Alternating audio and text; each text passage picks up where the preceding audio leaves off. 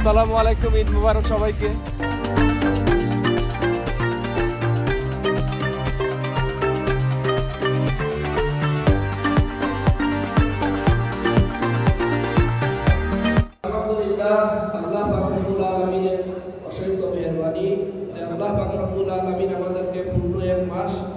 সিয়াম সাধনা করার পরে ঈদের খুশি আমাদেরকে আল্লাহ করছে এটা আল্লাহ মেহেরবানি আমাদের উপরে আল্লাহ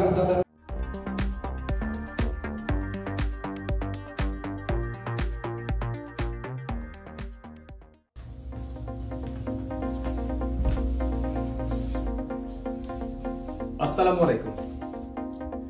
যাদের কষ্টার্জিত টাকায় দেশের হাজারো ফ্যামিলি ঈদ উদযাপন করছে, সেই প্রবাসীদের পক্ষ থেকে সবাইকে জানাই ঈদ মুবারক। অথচ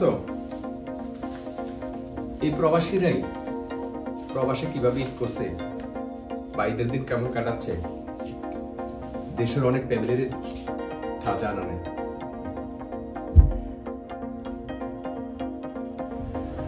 ছোটবেলায় যখন একটা সময় ঈদের শখের জিনিস কিনতে না পারতাম, তখন অনেক আফসোস হতো।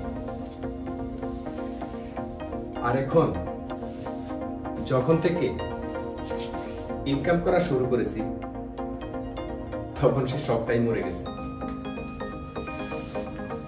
আসলে প্রবাসীদের,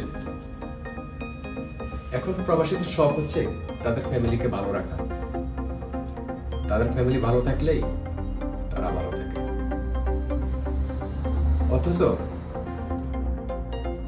এই হাড় ভাঙার কষ্টের টাকা দেশে পাঠানোর পরে যখন শুনতে হয়, এই টাকা দিয়ে কি হবে? তখন প্রবাসীদের সেই দুঃখ। কোথায় রাখবে? আসলে সেটা আজ ঈদের দিন নাই বলি। তবে